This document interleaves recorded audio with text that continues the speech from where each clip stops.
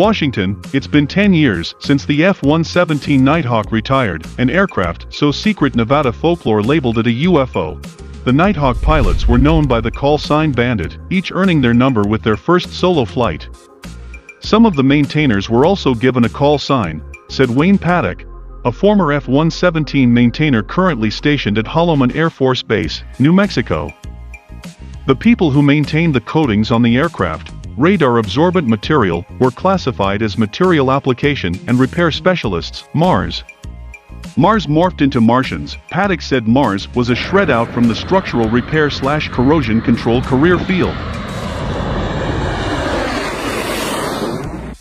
The technology for the F-117 was developed in the 1970s as a capability for attacking high-value targets without being detected by enemy radar.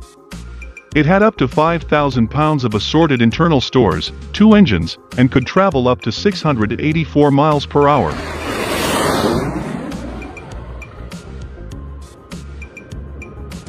It was the first airplane designed and built as a low observable, stable, and therefore precise platform, said Yancy Mailes, director of the History and Museums Program for Air Force Material Command at Wright-Patterson AFB Ohio, and a former F-117 maintainer.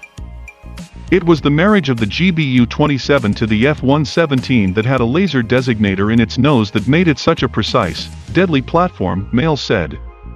It was best demonstrated during Operation Desert Storm when pilots snuck into Iraq and dropped weapons down the elevator shaft of a central communications building in Iraq. The first Nighthawk flew June 18, 1981, and the original F-117A unit, the 4,450th Tactical Group, renamed the 37th Tactical Fighter Wing in October 1989, achieved initial operating capability in October 1983.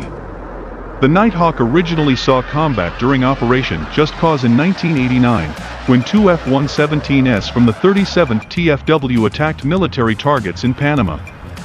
The aircraft was also in action during